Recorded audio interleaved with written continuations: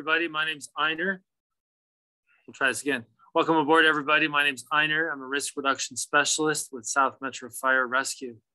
Just a little bit about me uh, before I get going here.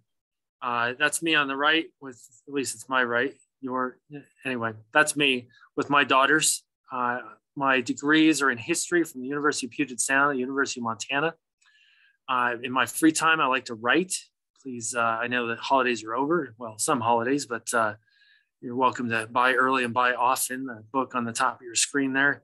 I also like to paint in my free time, and that's free time when I'm away from South Metro Fire Rescue. I've been a risk reduction specialist here since August of 2008, and all, all told, I have been in the fire service since uh, March of 1998. So uh, little over half of my life, which is uh, pretty cool. The fire service is a good way to go.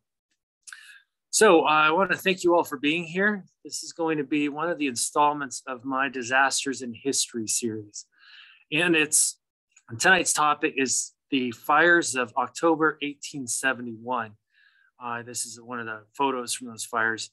Uh, but it's not just the fires of October 1871, since this is a, a local audience. We thought we'd add in more of our recent history with uh, last month's Marshall Fire. Uh, so, uh, as uh, DJ, I believe, said, uh, put your questions in the chat box and I will get to those at the end of the presentation. Uh, but you'll find, and those of you who know me will find that once I get rolling, I tend to focus on, on the presentation, and then I'll hit the, the chat box questions afterward. So the Disasters in History series, this is a series I came up with a couple years ago as a way to continue doing risk reduction presentations during COVID when we were all made to stay away from each other. Uh, and it, it, comes from a couple of different sources. One is that history rocks. Dur, we're in the Historical Society presentation, but it's also what I've been doing for my life. That's that's what I like. My like I say, my bachelor's degree and my master's degree are both in history. And it's a way for me to share my love of history with other audiences, as well as linking history into risk reduction and how we can all be safer, not just individually, but for our families. And then as a, re- as a result, how do we make our, our world safer for our first responders? My, my goal is to change your knowledge so that you can then change your behavior and change the conditions in which you live, work, and play. Some of the past topics are listed here on the screen.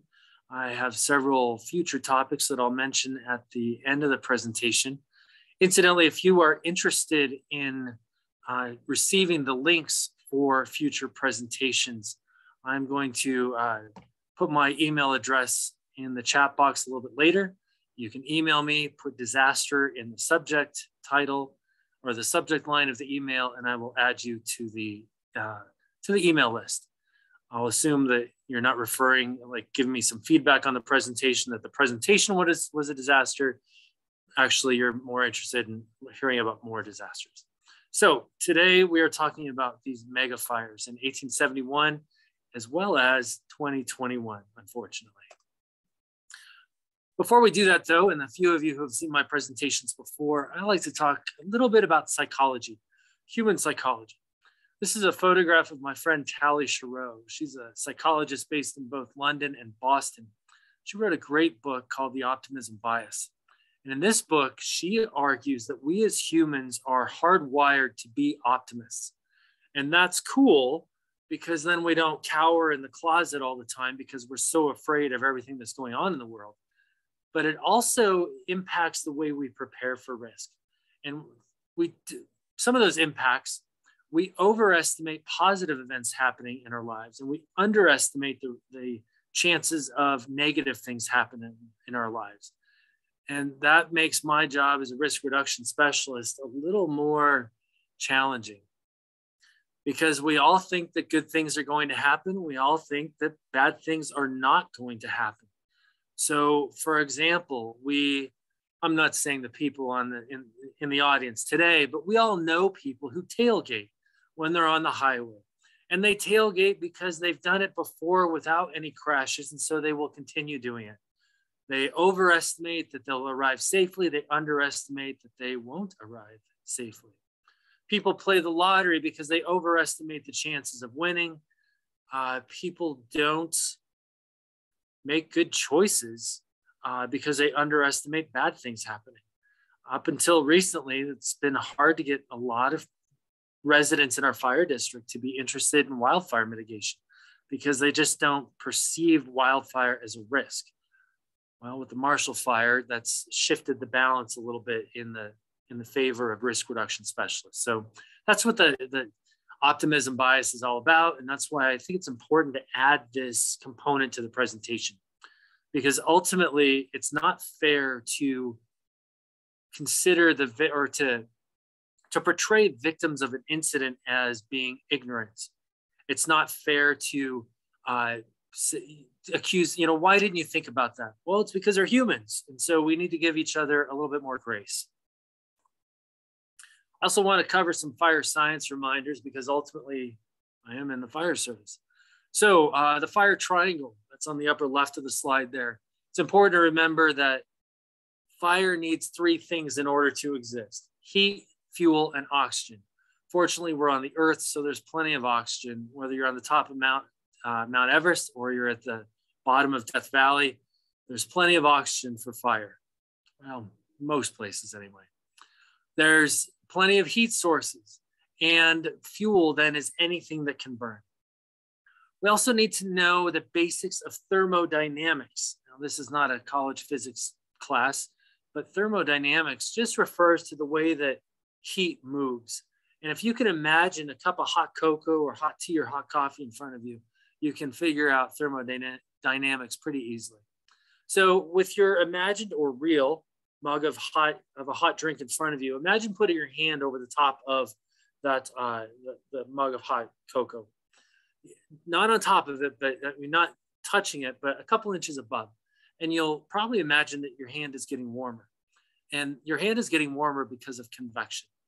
Hot fluids, whether it's air or liquids, hot fluids rise. So that's why our hand is getting warmer on top of that mug of cocoa. Now you can move your hand off to the side. Don't touch the side of the mug, but put your hand about an inch away from the mug. And again, you'll feel heat from the mug on your hands, and that's radiant heat. Finally, because the mug of hot cocoa might be too hot to drink, maybe you know the trick of putting a metal spoon inside that hot drink. And that metal spoon will heat while the liquid inside cools, and that's because of conduction. That's because heat transfers through or moves from warmer to cooler areas through solid objects. And that's, that's what conduction is. And finally, I want to throw one more big word at you, but I mean, this is, uh, this is an audience at the Historical Society, so I know you all have big brains. The word of the day is pyrolysis. And that is, uh, it's the roots of the word, if I remember correctly from Greek, are fire and process. And before something can burn, it has to do certain things. So imagine a fuel, maybe a piece of paper. As long as it's in that solid state, it is not going to burn. And that's a major misunderstanding that most people have of fire. Solids don't burn. In fact, that solid has to absorb heat. That heat causes the remaining water inside of the fuel to evaporate away as steam. Then the dry part of the fuel absorbs more heat. That heat causes the molecules that are packed together as a solid to break apart into, or dis- disintegrate into its gaseous form. And it's the gaseous form that actually burns. Some of those particles are completely burned off in the flame, or it, it, we call that a flame. Some particles are only partially burned. They're superheated, partially burned, they're blackened, and a cloud of partially blackened particles above a flame. That's what we call smoke. And that matters, and this will come up later, that matters because smoke is also a fuel, except in that case, that fuel is already in its gaseous form. It's already partially burned. It's already completely dried. And in most cases, it's already hot. So keep that in mind. All right, another part of another refresher course that we need to consider is that weather impacts fire. And these are the four types or four components of weather that certainly impact fire. And I'm sure we could all come up with this list on our own. Precipitation, if we have active precipitation, be it snow, uh, hail, rain, that's putting more moisture into the environment so that those fuels are going to be less likely to ignite. Relative humidity is the amount of water in the air. If the air holds more water than the surrounding fuels, then the fuels actually will absorb water from the air. If the fuels hold more water than the surrounding air, then the air will absorb water from the fuels. So relative humidity is a big deal. Air temperature definitely matters because the warmer the air, the more water the air can hold and it can pull more water out of the fuels. And of course, wind is a massive factor. Not only does it blow oxygen toward a fire, it can also push the heat from the fire, the convective column, the, the hot air rising off the fire, it can push that rising heat laterally into other fuels. On October 8th, 1871, so let's dial back the calendar a little bit. On October 8th, 1871, weather was a massive factor leading up to these fires that we're about to talk about. Because October of 1871, at least in the Midwest, followed a summer that was known for its drought. And throughout the summer, hundreds of wildfires had burned throughout the Midwest and honestly from coast to coast. And so this is a, a, a weather map basically. And I'm going to come back to this a little bit later as well. But just to make sure that we're all, you know, thinking about this the same way. The uh, note the the temperature here. If you can, hopefully you can see my little arrow on my mouse here. This is the area where the temperatures were hottest on this day. There was a low pressure system or uh, dropping into the United States from Canada. And then all these lines together here, these are isobars. They show differences in atmospheric pressure. And the closer that the isobars are to each other, that suggests that the winds are uh, increasing or the winds are, are more forceful. So we're going to talk first about Chicago, which, which is right here at this dot. Later, we're going to come up here, but let's talk about Chicago first. So Chicago in October of 1871, that followed the fifth driest July to September in Chicago's history.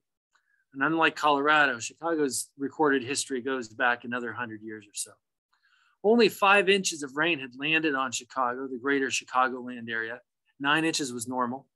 Relative humidity was under 30, and the winds were southwest, approximately 20 miles per hour in September and early October, which isn't too bad, but a constant 20 mile per hour wind will leave a mark.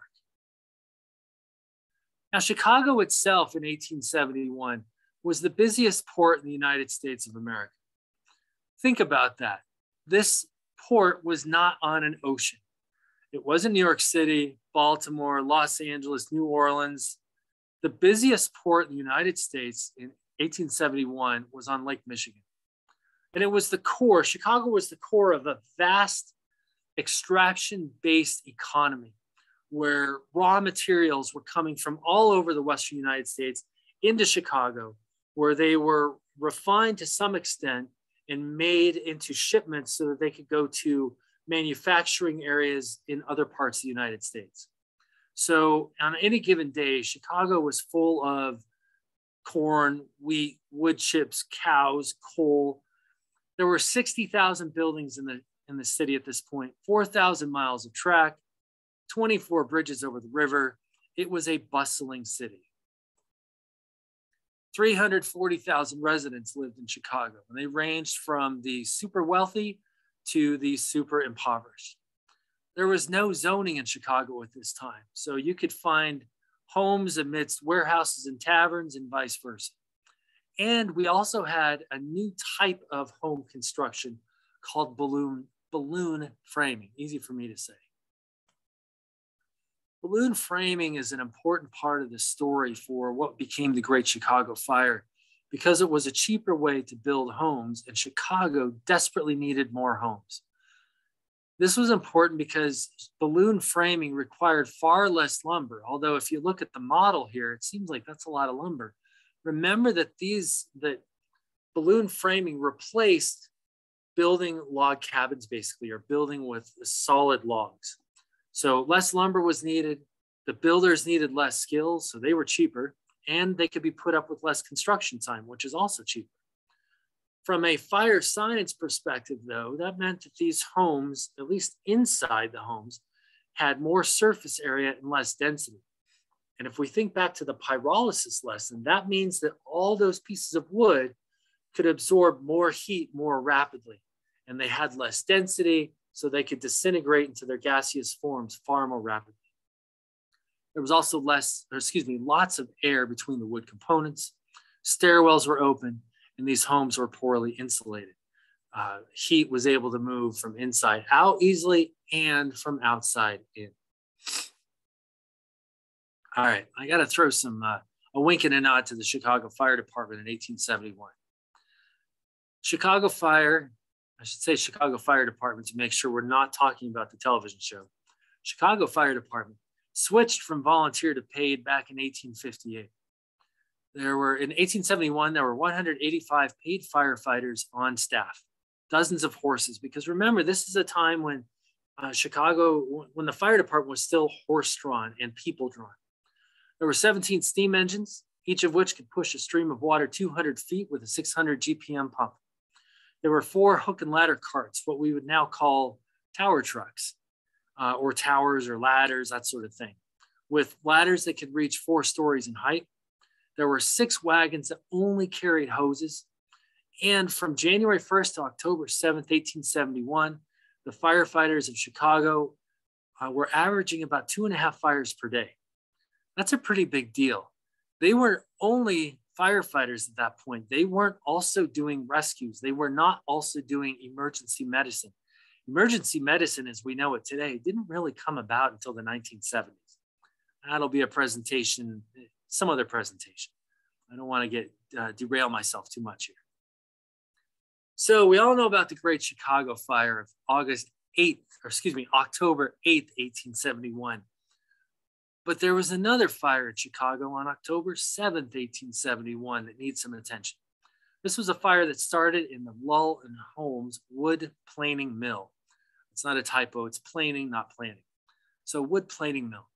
There was a steady 20 mile per hour wind, plenty of fuel, and this fire that started inside the mill ended up destroying four blocks of buildings in about 16 hours excuse me. So it started in the early morning hours of October 7th and it ran through most of the day. All of Chicago's firefighters responded. So if they were if they were on shift, of course they responded. If they were off shift, they went to the station or they went immediately to or directly to the incident itself to help out. Over those 16 hours of engaging this fire, 30 firefighters were injured. The fire destroyed one hook and ladder truck, and two steamers broke down for various reasons. So the October 7th fire left a mark on the Chicago Fire Department. And that fire burned in the blue circle or the upper circle uh, on the map here. Now, on October 8th, 1871, the day dawned, the weather was the same. In fact, the wind was a little bit steeper. Firefighters were exhausted. Oh, some of the equipment was broken. The, there was a, an entire hook and ladder wagon that was missing because it had burned. And so, what could possibly go wrong? And as I do my disasters in history presentations, I hope that members of the audience already start to sense these red flags popping up in their minds and, and they realize that if we're doing a presentation, clearly the Murphy of Murphy's Law is somewhere waiting in the wings. At this point, Murphy, proverbial Murphy, is no longer in the background he's really running through the streets. And that leads us to the cow barn. 137 DeKoven Street. If you go to 137 DeKoven Street today, I believe you find the Chicago uh, Fire Department headquarters. Uh, just kind of cool that way.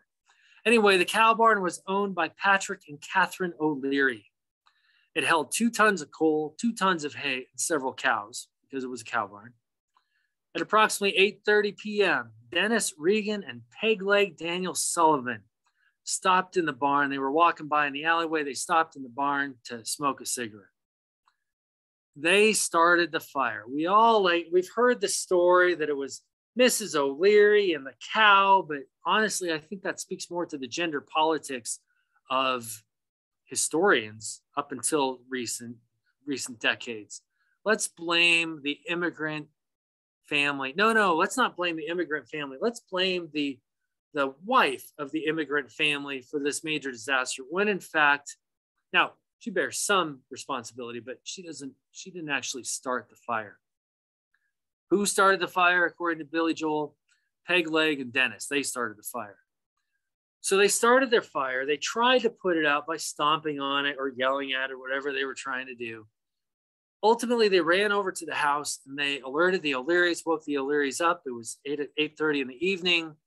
Uh, no electricity. So in their home, so they had already gone to bed. And the O'Learys realized that the fire was burning away from their home. So they really didn't care. And they didn't do anything about it. None of their immigrant neighbors did anything about it either. So, like I say, they, they certainly own some responsibility, but not uh, according to legend, they didn't actually start the fire.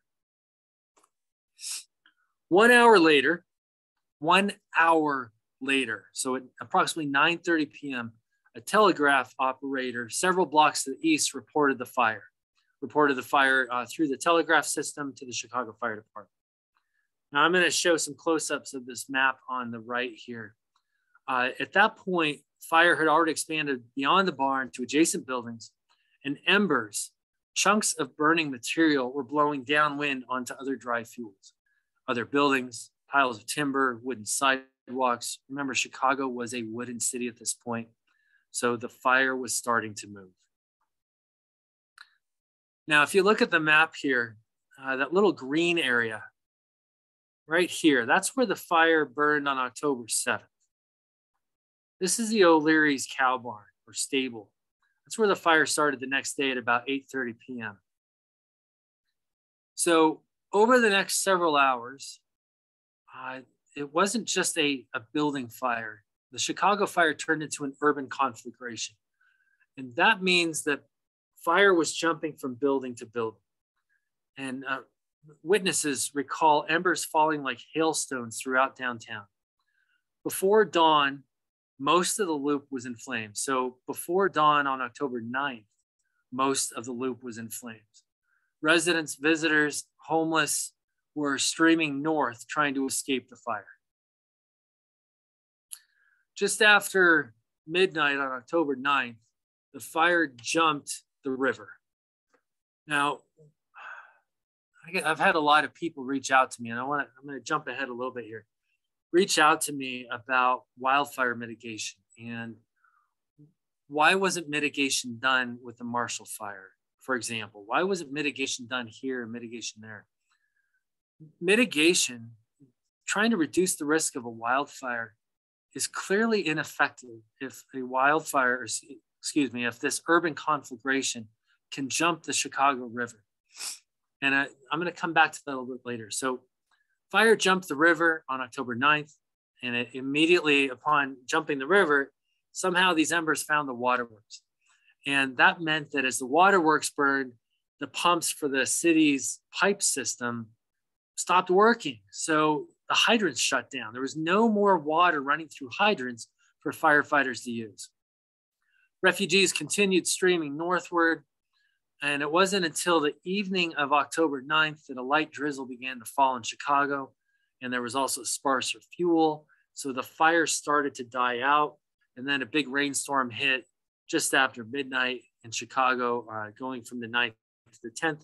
And that's when the fire stopped. It wasn't the action of firefighters, it was the action of the weather. The weather supercharged this fire, and the weather eventually stopped this fire. And this is what was left of Chicago.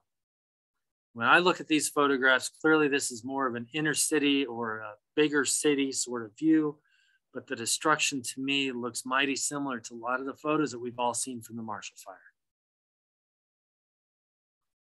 William Cronon, a Jedi Master of Environmental History, uh, he wrote a great book about Chicago, uh, the history of Chicago, actually. And this was a quotation from his book uh, that I'll reference in the bibliography later. The entire downtown was laid waste in a single night. Some more photos. This is, uh, you can see the Chicago River here. The fire jumped clean over, wiped out a lot of the boats, a lot of the ships there.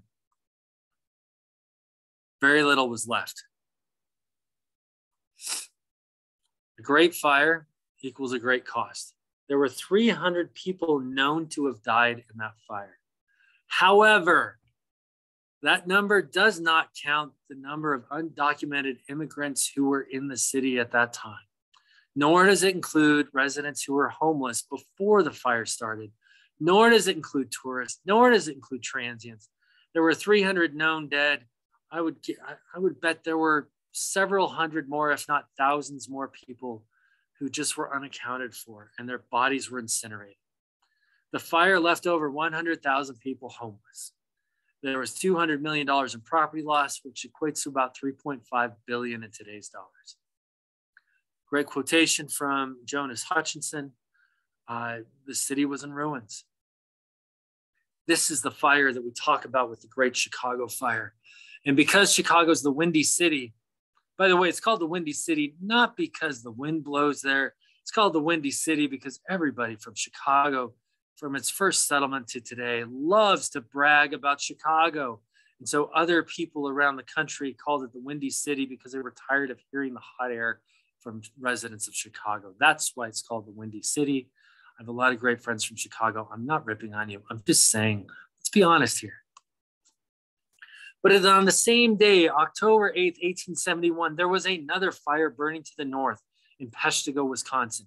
But because its residents were not bragging about it, people don't know about it. In 1871, Peshtigo, Wisconsin, which is a, just a little bit north of Green Bay, you can see it on the map there, it was a logging town with a population of about 2,000 people. They said that they had a billion trees on 1 million acres. Now, I, I'm not going to go out and count. I'm just going to take the word for it. It was at the mouth of the Peshtigo River, which was fast enough and deep enough to float trees from the surrounding forest down to the sawmills. It was a railroad route. Several railroads went through Peshtigo. It had three churches, two hotels, but no police department and certainly no fire department because they're humans, the optimism bias. What could possibly go wrong? And again, if you see that little imaginary Murphy figure running through the streets, you'd be onto something. The forest was 16.5, 16 and a half feet from buildings. When we talk about the wildland urban interface of today, oh, we've never had a wildland urban interface until the last 50 years. Come on. Are you kidding me? All of North America? No. The entire all land masses in the on the planet. That's wildland urban interface. When it comes to wildfire, then we're talking about the temperate areas, sure. But anyway, another another soapbox time. Engage me some of the time and we'll talk all about it. It wasn't just Peshtigo though. There, we also had the sugar bush communities. Around 4,000 people were known to live in settlements around Peshtigo. And that was an area named, the sugar bush was named for the sugar maples that grew there a lot of my people, immigrants from Norway and Sweden, as well as immigrants from Germany and, and Prussia, they had abandoned the cities or they couldn't afford to live in the cities. So they, be, they did the pioneer thing, the homesteading thing, going out into the woods, clearing their uh, the land of trees, they're burning slash and stumps, planting crops, and trying to make a go of it. It's the American way, it's the American dream. So let's go back to our weather map. The lower arrow shows where Chicago is. The upper arrow, the upper purple arrow, shows where Peshtigo is. So it was windy. It was actually like literally windy in Chicago on October 8th. But up in Peshtigo, it was windier. The narrow spacing indicates higher winds, in this case, 60 mile per hour sustained winds with uh, higher winds gusting above that. Uh, sounds like the weather that was affecting Boulder County in on December 30th, 2021, if you ask me. Hurricane force winds. And again, note the wind direction. The wind direction in this case, uh, we call it a southwesterly wind, indicating that it came from the southwest blowing to the northeast. There was plenty of fuel in the Peshtigo, in the greater Peshtigo metropolitan area. Of course, there was a, a, a forest. There were structures that were made of wood. There was wood at the sawmills waiting to be planed. There was finished wood, lumber waiting to be shipped out on railroads and on ships. The dried marshes, because of the horrible summer drought, the dried marshes were emitting methane in record amounts. And there was smoke from stump burning, from peat fires, from fireplaces, from sawmills. I mean, it was October. And leading up to that day, on October 8th, there had been several frosts. So, I mean, it was cold too, right? A, fall in, in Wisconsin. So people were burning fireplaces for light, for cooking, for heat. And there were brush fires. So that all that smoke, remember, smoke is vaporized, dried fuel. Smoke is a fuel and smoke can burn, especially if it's in thick quantities. Now, the exact heat source for the Peshtigo fire was never found, but there were plenty of them.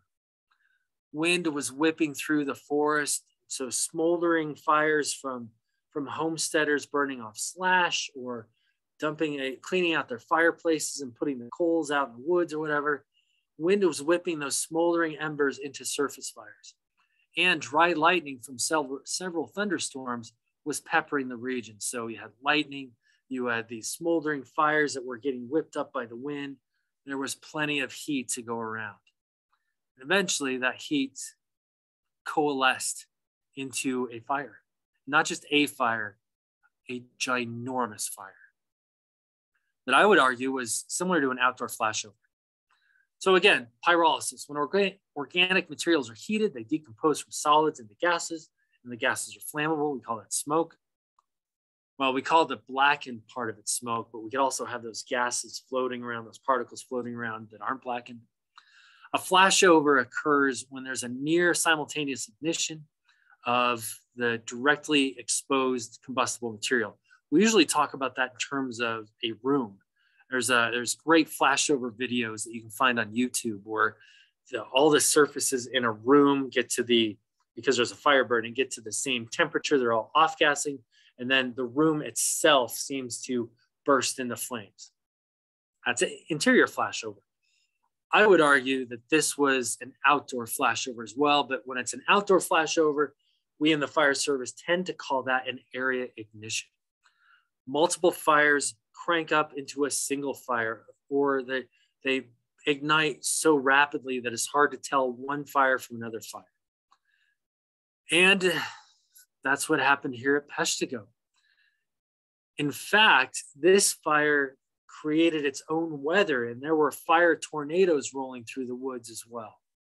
This is a quotation from a book. It's, I would say it's, it's probably the best. It's not the only book I would guess, but it's the best book uh, on the Peshtigo fire. And again, I'll refer to this uh, in my bibliography at the end. So survivors of this fire referred to it as the sound of judgment. They said that there was a great ball of fire that launched into the town. And I'm not going to get into the details of this fire no, any more than I did the Great Chicago Fire because we want to keep this at kind of an upper level. But if you are interested in this, there's uh, there's great resources out there about to learn about this otherwise forgotten incident. Increase Lapham, he was a uh, amateur meteorologist who lived in Peshtigo. He remembered seeing these sheets of flame going through the woods and through the town. Another survivor said it sounded like a thousand locomotives rushing at full speed. Imagine what the survivors, and of course, most everybody survived the, the Marshall Fire. Imagine what they heard. We, we know what they saw because we saw it on the news, but I have a feeling they heard a lot of the same stuff. Uh, Fort Embarrass, which was uh, a few miles to the west, I believe, the, the uh, official weather station, uh, and it was the Army Signal Corps who was in charge of the weather stations at that point. A week later, said the destruction by the fire is incalculable the newspaper accounts do not tell the losses. And when I think about all these losses, I think about the Marshall Fire. And so the connections to me are obvious. Peshtigo, at least 2,000 people died. Those are the known dead.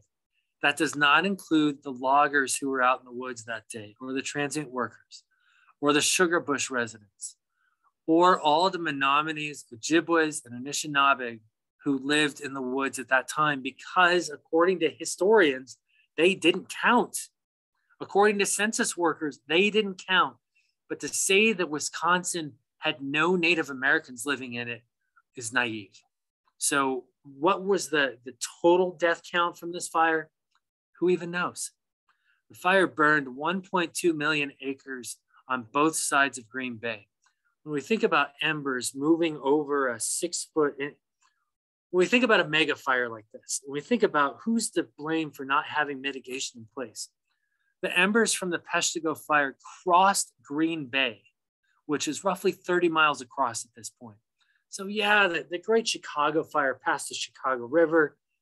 You couldn't throw a stone across there, but that wasn't as wide as Green Bay. This fire crossed Green Bay. This fire incinerated Peshtigo and 11 other towns in this part of Wisconsin. This was a mega fire, just like Chicago was a mega fire. And there were other fires burning the same day as well that most people don't know about. For example, the Port Huron fire burned in Michigan. Uh, Port Huron, White Rock, the Thumb region, at least 500 people died there. And again, over a million acres burned. There were actually fires burning in Michigan from the west coast of Michigan to the east coast of Michigan. There were wildfires burning in Iowa, Minnesota, Illinois, Indiana, in the Sierras and the Rockies, the Alleghenies. The entire, I don't want to say the, the entire country was on fire, but every region of the country had big wildfires in October, the first couple of weeks of October of 1871. So, legacy of these fires. Really, the legacy could be attributed to the Great Chicago Fire because that's where everybody's attention went. But there was a little bit of a wink and a nod to the Peshtigo Fire as well, and the other fires. But on October 9, 1911, the Fire Marshals Association of North America established Fire Prevention Day to recognize Peshtigo, Great Chicago, as well as the Triangle Fire, which had occurred six months before. President Wilson established a National Fire Prevention Day in 1920. President Coolidge, who's pictured here, established Fire Prevention Week in 1925. And he also did that because of the 15,000 Americans who died in fires the previous year. And Coolidge had it right. This waste results from conditions that justify a sense of shame and horror for the greater part of it could and ought to be prevented. And I would just say guilt and horror. I'm not a big fan of shame, but again, that's a soapbox for another time. So the fires had mixed legacies. Chicago certainly was rejuvenated after the Great Chicago Fire. Small businesses, middle class residents abandoned downtown Chicago for the suburbs, and that let the architects walk in and create basically a, a whole new loop in Lakefront. And it's in fact, that architecture is called the Chicago School. On the other end of the spectrum, US and British military officials studied Peshtigo and the Great Chicago Fire to figure out how to weaponize fire for World War II. And this uh, painting, the backdrop here is by Elin O'Hara Slavick. That's the way she spells her name. That's not just poor grammar on my part, just so you know. Uh, but that is her painting Dresden, part of her series uh, she did a series of paintings uh, showing cities that the US military had bombed over time. Again, this is Dresden. She did a similar one for Tokyo. So, lessons for us. If you see something, say something. Call 911. Don't be like the O'Learys and their neighbors. Oh, the fire is burning away from our house. It's not my problem. No, it is your problem because it's our problem we need to remember that the United States of America was not founded on individualism, it was founded on a social compact where we all help each other. Thousands of Chicagoans had no insurance or their insurance proof burned. How many of you have checked your insurance policies recently for your home and its contents? If you live in an apartment like me, for my apartment, my contents of my apartment, we need to take responsibility and make sure our insurance papers are up to date. And it's important that we do an inventory of our homes wherever we live. Put the inventory on video. Don't save the, the thumb drive with your video at home because then it could burn too. Save it on the cloud, save it in a safe deposit box somewhere else. Give it to a friend who lives in a different zip code. I have friends who evacuated for the Marshall Fire, and they, right before they left, they were trying to do a quick video of their home because they weren't sure the home would be there. Practice your home escape plan, especially in balloon framed homes. Practicing your home escape plan means that regardless of your age, little kids, not little kids anymore, Practice uh, activating the smoke alarm, go outside to your family meeting place. But don't just stop there. Evacuate, do a, a home evacuation plan, but also do a neighborhood evacuation plan. So you know where to go if the neighborhood needs to evacuate, whether it's for a wildfire, for hazardous material spill, for anything else. And register for your county's reverse notification system. For those of us who live in Douglas County, we can go to dcsheriff.net and click on the links for code red. It's easy. It's so easy. I was able to fix my own gap in that. For a couple years, I lived in Highlands Ranch and I had registered for Highlands Ranch or my address in Highlands Ranch and negligence. I mean, I'm doing it too. I moved to Lone Tree and I didn't update my information. So, preparing for this presentation, I finally updated my information and I will now receive the code red alerts for Lone Tree as well. Incidentally, my mom lives up in Idaho Springs, and several years ago, I registered for Clear Creek County's reverse notification so that I could know when my parents' home was threatened as well. And that leads us to December 30th, 2021. So 150 years later, hurricane force winds drove a wildfire, drove a small fire. Remember, all big fires start small. Somehow, we don't know what the cause of this fire was yet. Somehow, this small fire was captured or invigorated by hurricane force winds that blew it to the east. A small wildfire transformed rapidly into a megafire. We know of two people who died 30,000 people evacuated, and over a thousand homes and other structures were destroyed. This is a photograph that one of our firefighters took when they reached uh, the fire zone. So I wanted to share with you some insights from the Marshall Fire. The Marshall Fire, from my humble opinion, being in the fire service since 1998, being a firefighter and Clear Creek County for 15 years, being in risk reduction since, I guess, formally since 2003, but really since I was first a firefighter in 98. The Marshall Fire was two types of fires. Initially, it was a wind driven wildland urban interface fire that cruised through the largely open space area between Marshall and the towns or the cities of Louisville and Superior. As it was burning, again, driven by those hurricane force winds, not uh, the wind wasn't always above 100 miles per hour, but was still 60, 70, 80 miles per hour. The fire burned through several homes, tragically, burned through several homes.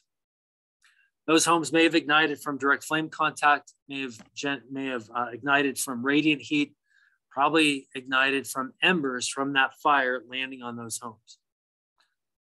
Once the fire got into Louisville and Superior, it was no longer a wildfire.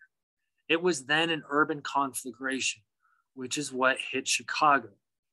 Uh, so it's important to, to separate those two out in our minds, in my opinion, because once the fire went into the urban areas or the, the suburban urban areas, that was then a home to home ignition scenario.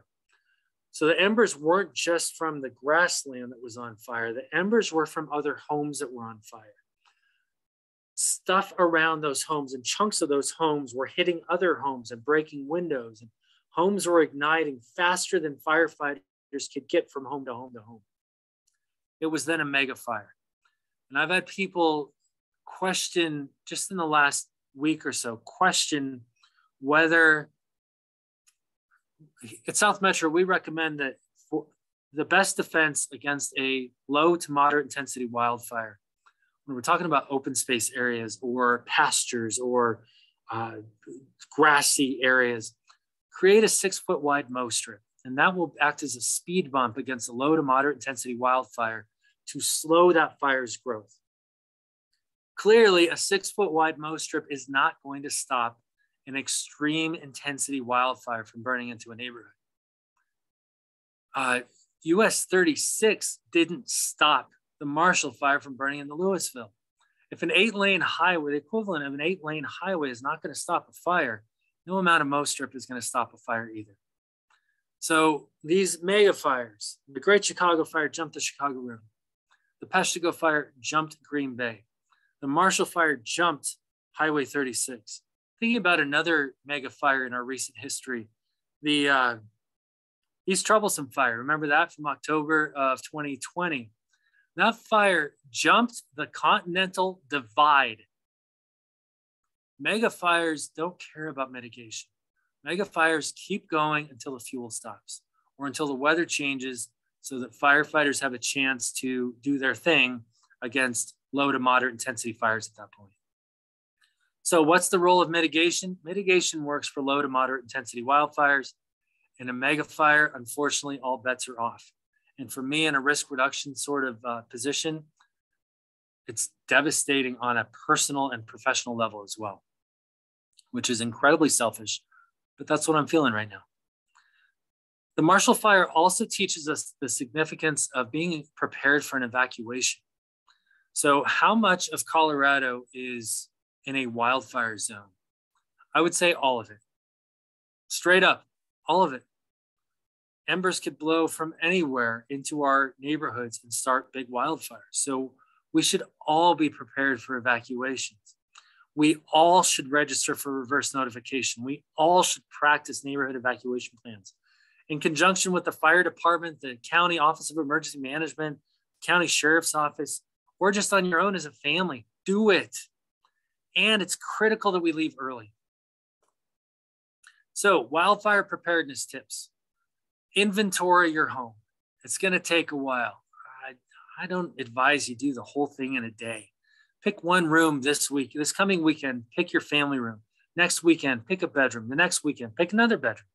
Slowly inventory your home so that at the end of the spring, maybe even by Wildfire Preparedness Day, which is the first Saturday in May, you're done. Defend your home against embers. And most homes ignite from embers. They don't ignite from a wall of flame coming through, they ignite from embers. Remove all junipers within 30 feet of your property.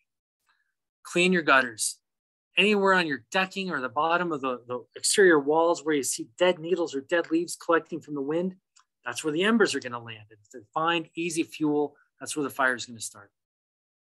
Again, create family evacuation plans and family communication plans. Your family evacuation plan should be okay, as a family, if we're separated and there's a reason to evacuate the neighborhood, we're all going to meet here in a different zip code. Maybe it's at a shopping mall. Maybe it's at a, a family member's house out of zip code, somewhere further away that's probably not threatened by the same hazard or the same incident. If you're all home, great, then you can all go together. Your evacuation plan should be should include roughly what are you going to take? Which car are you going to take? Are you going to take that collector's Corvette that hardly holds anything? You're never going to be able to throw the big dogs in there. Or do you take the sedan or the minivan and leave the Corvette behind because at least you can grab the dogs with your with the minivan?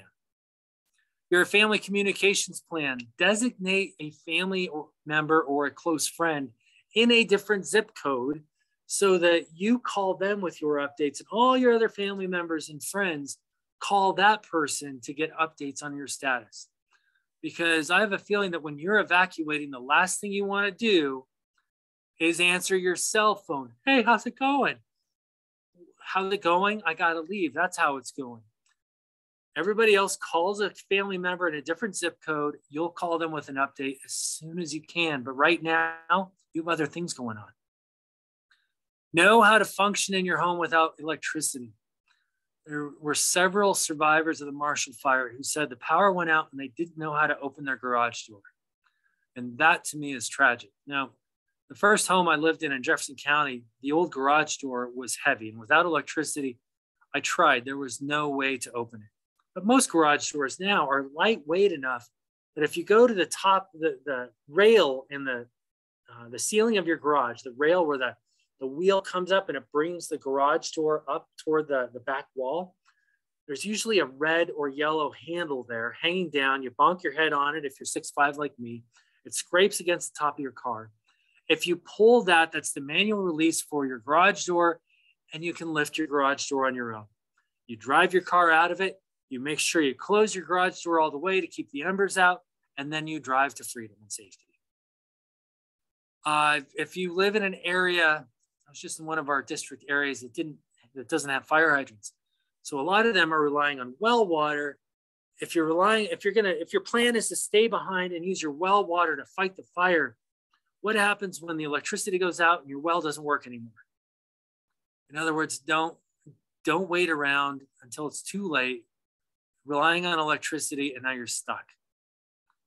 Uh, in terms of get ready, get set, go, we at South Metro Fire Rescue, we follow the Ready, Set, Go materials, and I can send that to all of you. I can even send it to Nancy or Sarah. Maybe you can put that on the uh, Highlands Ranch Historical Society website, and certainly on our website, southmetro.org. And it just gives you tips, other tips on how to prepare so that you're ready for anything that happens. And then when the emergency occurs, you get set. And if you need to, you're ready to go. It's that simple. And incidentally, when you get the evacuation notice from the county, and the county's reverse notification message, it's a pre recorded message. It'll say something like, There's an emergency in your neighborhood. You need to evacuate. You need to evacuate to the north or to the east or to the west. They'll tell you, it'll give you a little bit of direction. They'll tell you where to get more information. They'll tell you where the identified shelters are. Don't wait. And for goodness sakes, don't call your local fire station. Hey, is this for us? Yes, it's for you. You received the call, you registered for the call. Act on it right now.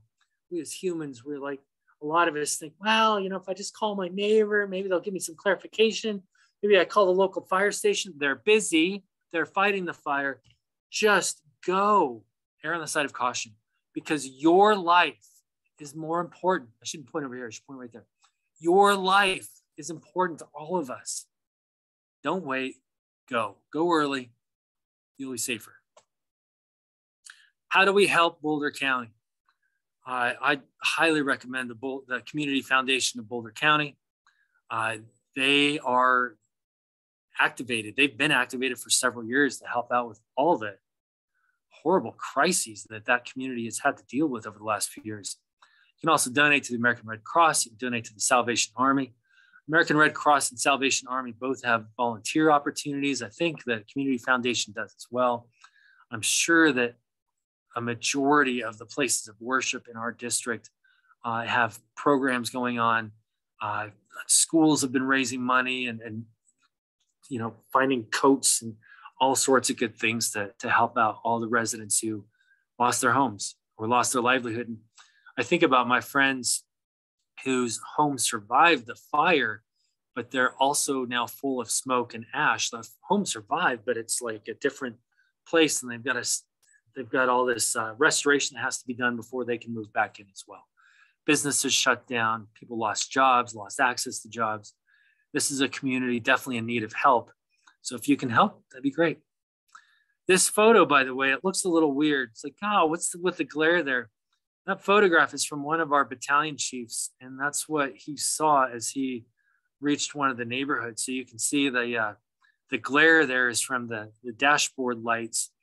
Uh, if you look closely enough on the mid, the, the bottom center, you can actually see what he's looking at in his rearview mirror uh, on the left side of the car and the home to home to home ignition. So I'm a, I'm a historian. I cite my sources.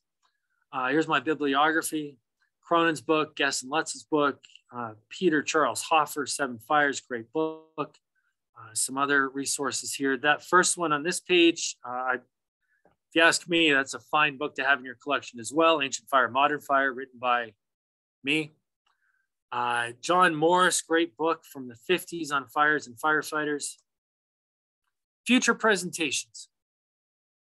Uh, on January 25th, the Hyatt Regency walkway collapse. February 22nd, nightclub fires. March 15th, outhouses and risk reduction. It's pretty cool. May 10th, 1947, Texas City explosion. If you want to get on the mailing list, there's my email address. I forgot to put that on the slide.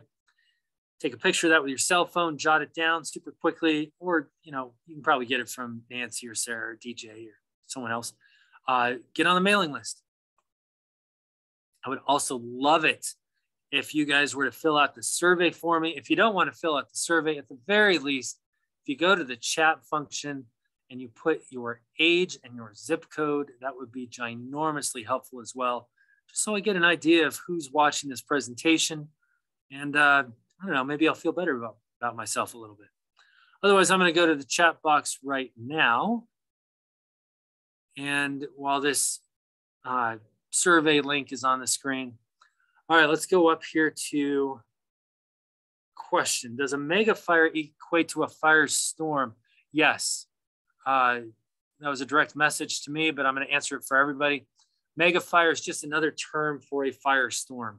Uh, if you ask me, that mega fire was a term I don't know that it was coined by Jack Cohen, but Jack Cohen is a Jedi master in uh, urban interface fires and building ignitions, wildfires, that sort of thing. He used to work at the fire science lab in Missoula. He's now retired. And he started referring to these wildfires that burned into and through cities as megafires. And that is certainly an adequate term for uh, these fires. It would also apply to Black Forest, to Waldo Canyon. Uh, those are the two big ones I would say in Colorado that would apply to mega fire. But honestly, uh, East Troublesome was a mega fire. Most of the fires that burn in uh, Camp Fire in California, you get the gist. All right, let's keep going down here. A lot of zip codes. Thank you. Right, all right. What was the website for the reverse notification? Hey, I'm going to type this into the chat box right now. Oh, and I sent that directly because I'm a goofball. Everyone in the meeting, I'm gonna try it again. DC Sheriff net. Yeah, there you go. dcsheriff.net will get you the link to uh, register for Code Red, which is Douglas County's reverse notification system. If you happen to live in Arapahoe County, you can search for RAP alerts if you're in Jefferson County, that link is far bigger, but go to the Jefferson County Sheriff's Office website and look for their reverse notification. And here is my email address.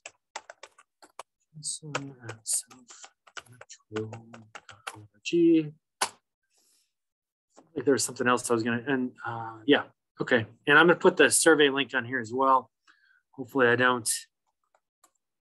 gaff the typing here. Survey monkey. Um,